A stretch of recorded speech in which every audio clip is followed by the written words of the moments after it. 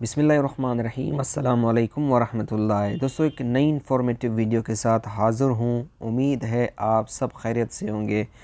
दोस्तों, वजारत ख़ारजा की जानब से एक नया वीज़ा जारी कर दिया गया है, जिसका नाम है ट्रांज़िट वीज़ा। दोस्तों, ये आप देख सकते हो, यहाँ पे ये जवाज़ात की जानब से ये ट्वीट कर दिया गया था, जिसमें बताया गया कि वजारत ख़ारजा की जानब से एक नया वीज़ा इशू कर दिया गया है।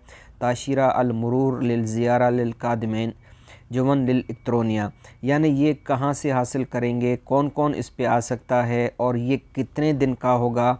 और ये कैसे हासिल कर सकेंगे? आज की इस वीडियो में बताऊँगा। दोस्तों ट्रांज़िट वीज़ा जो है, जो भी सऊदी अरब में आते हैं और ख़ास करके जिनकी फ़्लाइट जो है स्टे वाली होती है, सऊदी अरब में आके स्टे करके फिर दूसरी कंट्री में जाते हैं उन लोगों के लिए है।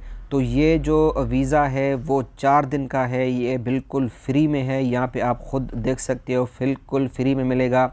और ये जो सऊदिया एयरलाइन और फ़िलाई नास की जो एयरलाइन है, उनके ज़रिए मिलेगी। उन पे उन फ़्लाइट्स में अगर कोई भी टिकट जो है हासिल करेगा तो उन पे ये ऑप्शन आएगा कि अगर आप लोग स्टे करना चाहते हैं, यानी वीज़ा हासिल करना चाहते हैं तो आप लोग फ्री में हासिल कर सकते हैं।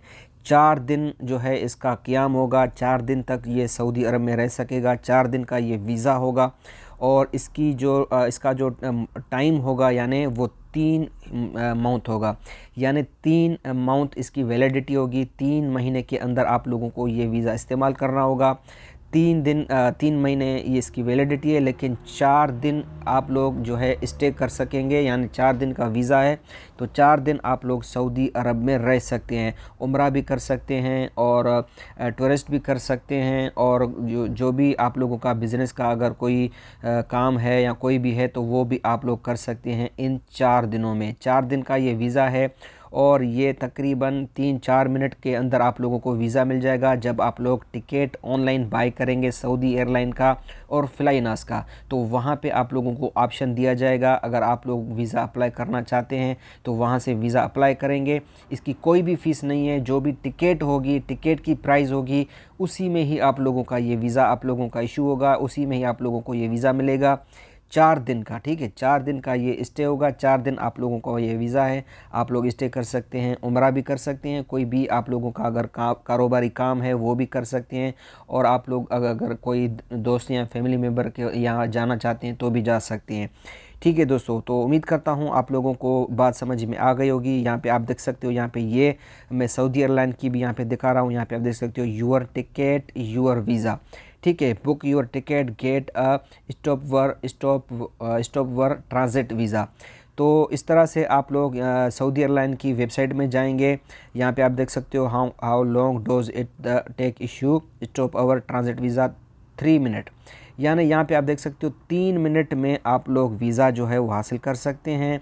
और यहाँ पे ड्यूरेशन ऑफ़ स्टे यहाँ पे आप देख सकते हो 96 हॉर्स यानी चार दिन का आप लोग स्टे कर सकते हैं। और ये जो वैलिडिटी है इसकी वो थ्री मंथ है।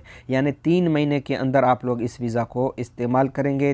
तीन महीने वीज़ा की वैलिडिटी होगी इशू डेट जो होगी वैलिडिटी यानी वो आ, जो है आप लोग इसमें इशू कर इशू होगी। और ये प्लेस जो है यहाँ पे आप देख सकते हो नीचे ये प्लेस हैं, इनमें आप लोग जो है ये टूरिज़म कर सकते हो विज़िट एवरीथिंग यानी आप लोग विज़िट भी कर सकते हो अपने फैमिली मेंबर में या कोई भी बिज़नेस भी कर सकते हो। बिज़नेस का कोई कारोबार यानी काम है, कोई भी तो वो भी कर सकते हो और परफॉर्मिंग उम्र भी कर सकते हो आप लोग इसमें। ठीक है दोस्तों?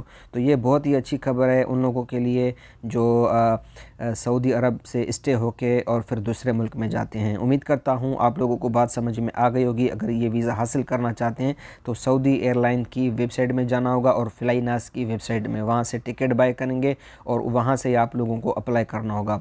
तो इन जैसे ही इसकी और खबर आती है तो आप लोगों के साथ वीडियो ज़रूर शेयर करेंगे। उम्मीद करता हूँ बात समझ में आ गई होगी। वीडियो अच्छी लगी है तो प्लीज़ लाइक, शेयर ज़रूर करें और इस चैनल को सब्सक्राइब करना ना भूलें। अपना बहुत ख्याल रखिएगा। इन मिलेंगे नेक्स्ट वीडियो में। अल्लाह हाफिज़।